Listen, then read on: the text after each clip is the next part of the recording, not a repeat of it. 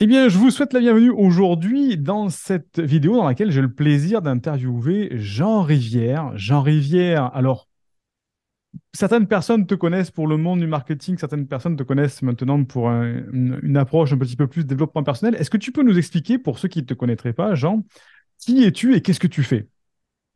Alors, euh, je travaille sur le web depuis 2004, donc ça fait un moment. Euh, euh, j'ai jamais vraiment eu d'activité salariée. J'ai eu juste quelques petits boulots de, moins de six mois, deux petits boulots de moins de six mois. Et j'ai toujours voulu en fait être indépendant, euh, davantage pour la liberté justement. Et la première année, enfin juste vraiment quand j'ai commencé à gagner ma vie de façon indépendante, je suis tout de suite parti. Je suis parti vivre en Europe de l'Est, donc en 2004.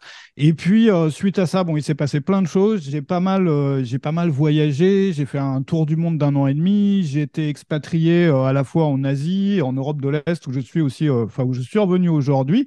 Et j'ai créé des vidéos, j'ai créé, enfin, j'ai commencé avec des articles, des vidéos, enfin, toutes sortes de choses sur ce sujet-là. Donc, pour les personnes, les créateurs, les personnes qui, bah, qui vivent du web ou qui veulent en vivre.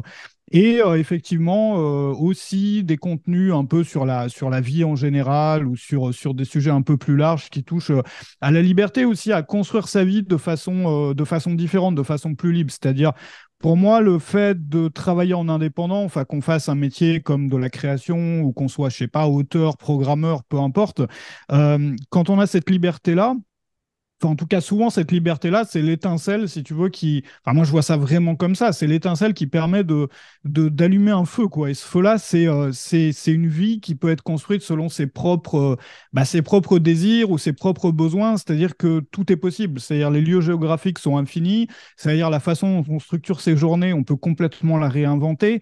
Et euh, bah, c'est une grande liberté. Et euh, bah, j'ai pas mal expérimenté justement de choses là-dessus avec des, des modes de vie même un peu différents. J'ai habité, euh, bah, j'ai construit une, maison en bois au Cambodge. euh, j'ai habité dans un chalet en Transylvanie. En ce moment, je suis en train de retaper une ferme euh, en Roumanie. Et j'ai aussi vécu bah, en digital nomade, donc en Airbnb, hôtel, et- etc. Et donc voilà, il s'est passé, passé pas mal de choses effectivement depuis, depuis 2004.